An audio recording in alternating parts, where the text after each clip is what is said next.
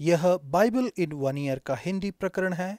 नौवा दिन, चीज़ों को सही करने के लिए परमेश्वर पर भरोसा करें। मुझे और पीपा को साथ में क्रॉसवर्ड्स करने में मज़ा आता है। जब हम किसी संकेत शब्द पर अटक जाते हैं तो हम हार नहीं मानते, बल्कि हम अगले संकेत शब्द पर बढ़ते हैं। जब भी हमें उत्तर मिलता है तो यह हमें और भी संकेत शब्द को हल करने में मदद करता है। अंत में कभी कभी हम लगभग सारी पहेली हल कर देते हैं। हालाँकि ऐसा कभी कभी ही होता है। एक तरह से बाइबल के कुछ मुश्किल भाग पढ़ना क्रॉसवर्ड पहेली को हल करने जैसा होता है। पेचीदा भाग में फंसे रहने के बजाय आप उस पद्यांशों का उपयोग कर सकते हैं जिन्हें आप समझ चुके हैं ताकि आप कुछ और मुश्किल पद्यांशों को हल कर सकें। अक्सर मुझे बाइबल में कुछ मुश्किल पद्यांशों को समझने में कठिनाई आई है, लेकिन मुझे कुछ चीज़ों को समझना मुश्किल भी लगता है कि दुनिया में ऐसा क्यों होता है। यह मुझे अन्यायपूर्ण नज़र आता है। इसके लिए कोई आसान जवाब नहीं है। मुझे कल के पद्यांश से दूसरा बढ़िया अलंकारिक प्रश्न अच्छा लगा। क्या सारी पृथ्वी का न्याय न्याय न करे? आप इस बात से आश्वस्त हो सकते हैं कि अंतिम दिन में जब सब कुछ प्रकट हो जाएगा आप परमेश्वर का सिद्ध न्याय देखेंगे, तब हर कोई कहेगा, यह बिल्कुल सही है। चीज़ों को सही करने के लिए परमेश्वर के पास असीमित समय है। आज का हर एक पद्यांश हमें इस सच्चाई के बारे में बताता है कि अंत में परमेश्वर चीज़ों को सही करेंगे। भजन संहिता सात, एक से नौ तक। विश्वास कीजिए कि सच्चा न्याय होगा। कुछ लोग सोचते होंगे कि परमेश्वर पर भरोसा करने से जो न्याय करते हैं दुनिया में हिंसा होगी। वास्तव में ठीक इसका विपरीत होगा। जब लोग परमेश्वर के सच्चे न्याय पर भरोसा करना बंद कर देंगे तो वे इसे अपने हाथों में लेने के लिए ललायत होंगे और अपने शत्रुओं से बदला लेने का प्रयास करेंगे। दाऊद को भरोसा था कि न्याय होगा। यह कि परमेश्वर न्याय करेंगे और वह भी सच्चाई से करेंगे। मुझ पर दोष लगाने वाले न्यायालय में भर गए हैं।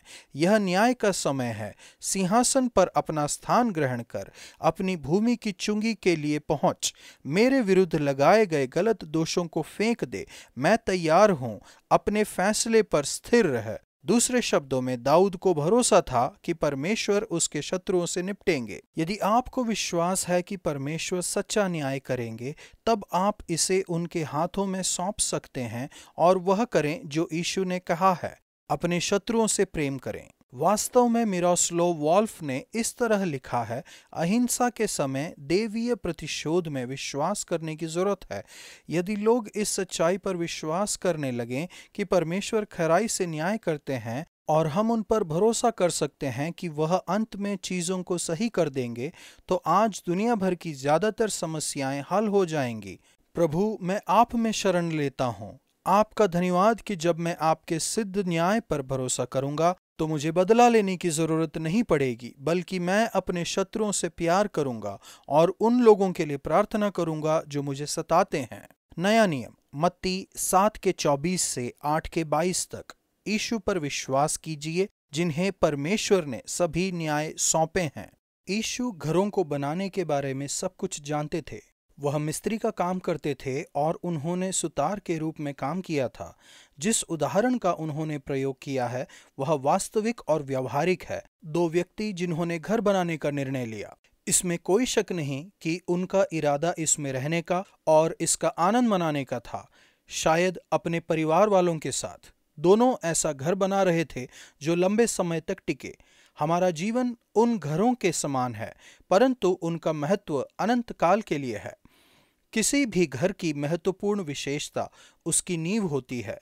ये घर दिखने में थोड़ा अलग होंगे, लेकिन एक घर की नींव चट्टान पर बनी हुई थी। उसी तरह से दो जीवन एक जैसे दिख सकते हैं, लेकिन उनकी नींव में फ़र्क तब प्रमाणित होता है जब अचानक से जीवन में तूफ़ान आएगा। आप इस दुनिया में चुनौतियों का सामना करते हैं। ये कई तरह से आती हैं। गलतफहमियाँ, निराशा, अपूर्ण इच्छाएँ, शंका परीक्षा, लालसा, दुख और शैतानी आक्रमण। सफलता भी एक परीक्षा हो सकती है और कभी कभी दबाव, तकलीफ़, बीमारी, वियोग, दुख, सदमा, त्रासदी, सताव और असफलता भी। अंत में हम सभी को मृत्यु और परमेश्वर के न्याय का सामना करना पड़ेगा।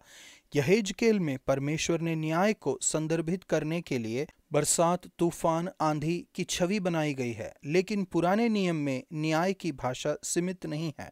यहाँ और कई जगहों पर यीशु हमें आने वाले न्याय की चेतावनी देते हैं, जैसा कि नए नियम के अन्य लेखकों ने भी दिया है। जब मेह, बरसा और बाढ़ आई और उस घर पर टक्करें लगी, परंतु वह नहीं गिरा, क्योंकि उसकी नींव चट्टान पर डाली गई थी, लेकिन जो बालू पर बनाया गया था, वह गिरकर सत्यानाश हो गया। परीक्षा इस जीवन में हो सकती है या न्याय के दिन में आ सकती है। यीशु के अनुसार इसे निश्चित ही आना है। फिर भी आपको भय में जीना है, यह आसान नहीं है, लेकिन इसकी निश्चितता का एक उपाय है। जब आपके घर की नींव की जाँच की जाए तो यह मज़बूत रहे। यह जानना संभव है कि आपका जीवन सुरक्षित है या नहीं। ईशु हमें बताते हैं कि मुख्य फ़र्क यह है कि बुद्धिमान मनुष्य ईशु के वचनों को सिर्फ़ सुनता ही नहीं, बल्कि इसे मानता भी है। दूसरी तरफ़, मूर्ख मनुष्य, हालाँकि वह ईशु के वचन को सुनता है, पर उस पर चलता नहीं है। ज्ञान को कार्य में लाना ज़रूरी है। हमारा सिद्धांत हमारे जीवन को प्रभावित करना चाहिए, वरना हम अपने घर बालू पर बना रहे हैं। ईशु के वचन सबसे पहले उन पर विश्वास करने की बुलाहट है। हमारा उद्धार ईशु में विश्वास करने और आज्ञा पालन में जीने से है। आप ईशु के न्याय पर पूरी तरह से भरोसा कर सकते हैं, क्योंकि परमेश्वर ने स्वयं उन्हें अधिकार दिया है। ईशु सूबेदार के विश्वास को देखकर चकित हो गए। उन्होंने कहा, मैं तुमसे सच कहता हूँ कि मैंने इसराइल में ऐसा विश्वास नहीं पाया। उसका यह विश्वास साबित हुआ क्योंकि सूबेदार ने विश्वास किया कि यीशु के कहने ही से उसके सेवक को चंगाई मिल गई है। उसके विश्वास का मूल आधार काफ़ी गहरा था। सूबेदार जान गया, जैसा कि सेना में होता है, किसी व्यक्ति को अधिकार तब मिलता है जब वह किसी के अधिकार के नीचे होता है। इसलिए यीशु का अधिकार अपने पिता के अधीन रहने से आता है। सूबेदार ने देखा कि जब यीशु बोले तो परमेश्वर बोले। इसके अलावा यह सिद्ध न्याय किसी मनुष्य की तकलीफ़ से अलग नहीं है। हम जानते हैं यीशु ने अन्याय का अनुभव कारावास, यंत्रणा और सूली पर चढ़कर अनुभव किया। लेकिन इस पद्यांश में हम देखते हैं कि उन्होंने बीमारी का भी अनुभव किया, हमारी ओर से, और बल्कि बेघर होने का भी। ऐसे बहुत ही कम तकलीफें होंगी जिनका अनुभव यीशु ने नहीं किया। पिता, आपका धन्यवाद कि मेरी कमजोरियों में केवल ईशु ही मुझे सांत्वना देते हैं, लेकिन उन्होंने मेरे पापों का दंड भी खुद पर ले लिया ताकि मुझे डरना न पड़े। पुराना नियम, उत्पत्ति 19 का 1 से 10 के 18 तक।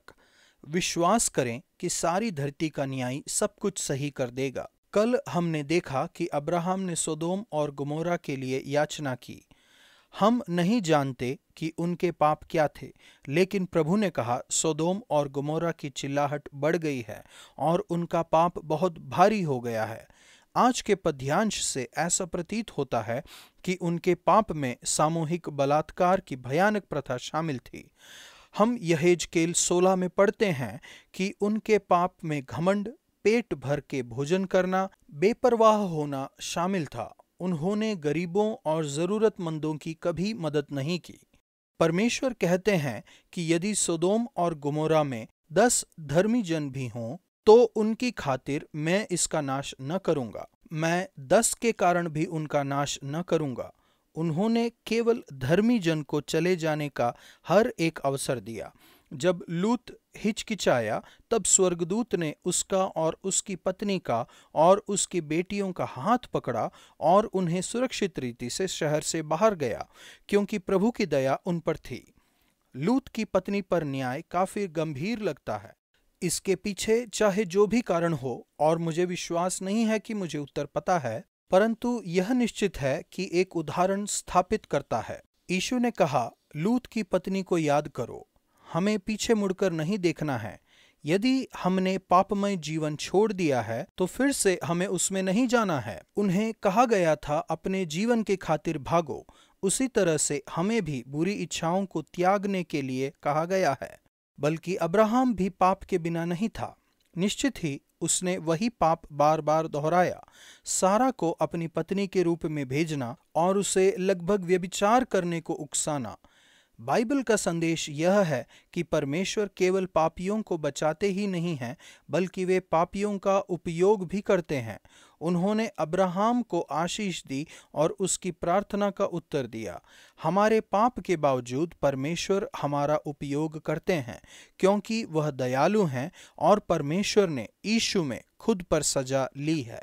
प्रभु न्याय के दिन के लिए, मसीह का क्रूस मुझमें जो बदलाव लाता है, उसके लिए आपका धन्यवाद। आपका धन्यवाद क्योंकि मैं विश्वास कर सकता हूँ कि अंत में सारी पृथ्वी का न्याय सब कुछ सही कर देगा।